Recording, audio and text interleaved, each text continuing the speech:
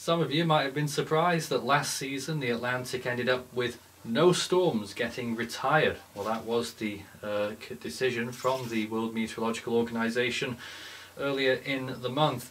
And uh, Idalia, of course, being the strongest uh, US landfalling storm that season, a Category 3. Will we see more of the same this year? Well, that's our job to find out whether it is with our season predictions. Now, our April prediction is our first one that we do in the year well ahead of the actual hurricane season. Well, I say it's well ahead, it's still only about five weeks away until we kick off uh, in June. But the main thing we look out for here is to see what trends are developing and one trend that we certainly are seeing developing is warm sea surface temperatures across the Atlantic and high oceanic heat content. That alone is not enough to really go all out with a prediction. Um, other conditions have to line up in advance and when the storms are actually there themselves. However, this is what our prediction looks like for 2024 in the Atlantic. We are currently looking at 21 named storms, 12 hurricanes and 4 major hurricanes this year. So latest trends are indicating conditions particularly favourable for hurricanes uh, in the main development region and Caribbean region this year.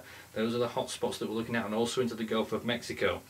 Uh, our main takeaway key messages here, August and October expected to be the superior months for the Caribbean and Gulf of Mexico, with the Western Atlantic Ocean and the main development region being the most prominent during the peak month of September. Now, we are seeing suggestions of long tracking dangerous hurricanes, uh, a primary concern with a 45% chance of seeing a Category 5 storm somewhere in the basin. Of course, we saw one last year, Hurricane Lee. Uh, didn't strike at that intensity, thankfully. And a 20% chance, though, of seeing a Category 5 landfall somewhere in the basin this year.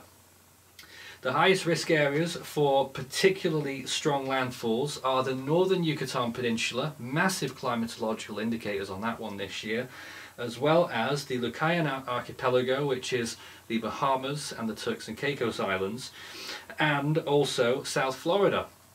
Uh, a lot of um, activity on climatological uh, turnouts there for South Florida uh, with a lot of red flags popping up there. Of course climatology isn't the be all and end all. We've factored that in in our predictions for April um, and so the main difference really with the climatology and the actual uh, modelling right now is maybe a little bit of a further north emphasis for activity. And we'll get onto that in a minute though. Um, also in our key messages, with high oceanic heat content uh, and sea surface temperatures, conditions could support rapidly developing and high numbers of storms in the main development region throughout the season, all the way through. There also appears to be a high early season potential in the northern Gulf of Mexico this year, so homegrown storms that form in the northern half of the Gulf, off the Gulf Coast, and moving in quite quickly, uh, affecting those land areas. In summary, now these numbers are just estimates. It's not really a, uh, you know, I, we don't expect that it's going to be completely how this goes, but at the moment it's showing one storm for May, two for June, three for July, five in August, five in September, three in October, two in November, and zero in December. And if we look at the actual analogues for this season, well, we've got quite a raft of them actually, a huge amount of analogues for this season, some better than others. Let's start with the best analogues right now. And this is mainly based on climatological patterns, um, where we are in the phase of play with the ENSO, uh, leaving the El Nino, and looks like we'll be entering some form of La Nina this season. Uh, so that really puts a few seasons right up near the top there. And these are the three that we've marked right now for the highest uh, match. Uh, there's no, no such thing as a perfect match, of course, and every season is different. But the biggest matches right now are 1998, which of course was quite an active season, featured some very strong storms, the two most notable ones being um, Georges, uh, which was a very strong Category 4, borderline Cat 5 if you ask me, and Mitch, which was a Category 5 storm, uh, which uh, devastated Honduras in late October. Another one is 1966. Uh, another season, people might not know so much about that one, but most people will remember its strongest storm, recently upgraded actually, Hurricane Inez, uh, which is a Category 5 and had a very erratic track uh, through I think September of that year.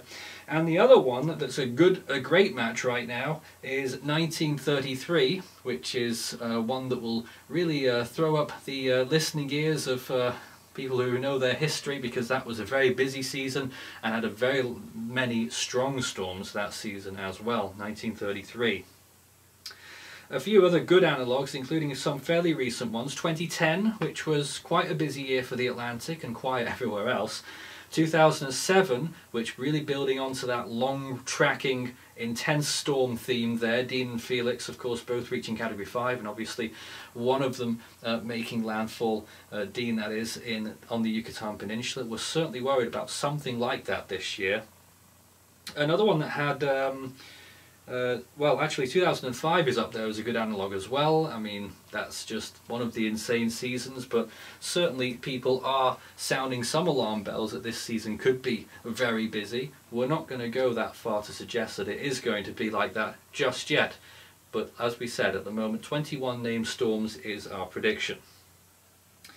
And if you look at the actual track forecasts or the uh, likely tracks, I mean, this is just an example of what we could possibly see.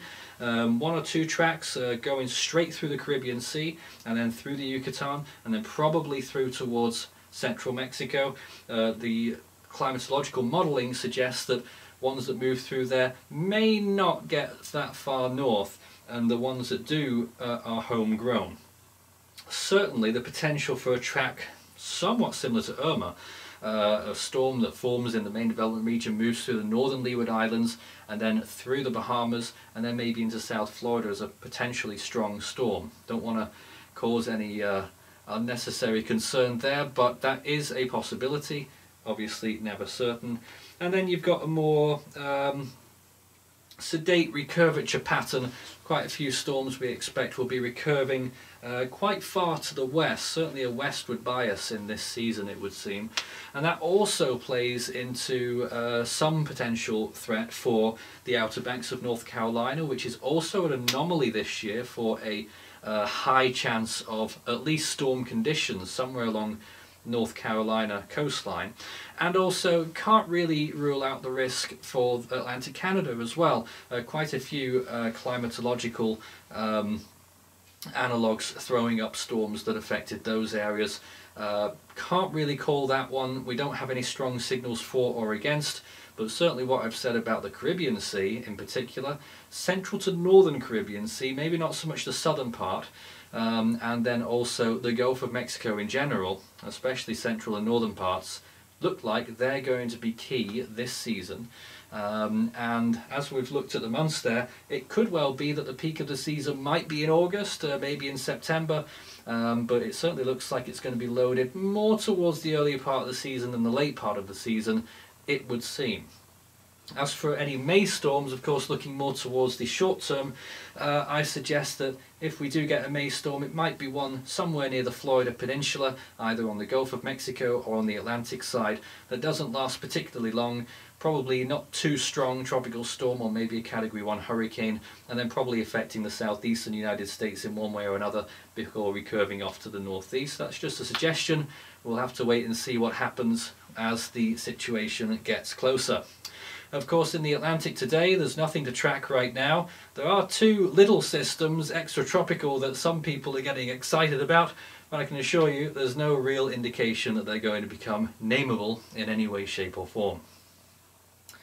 And certainly in the next couple of weeks, it doesn't look like we're going to see any real activity for the Atlantic. And of course, it is still very early on. The season doesn't officially start until June the 1st.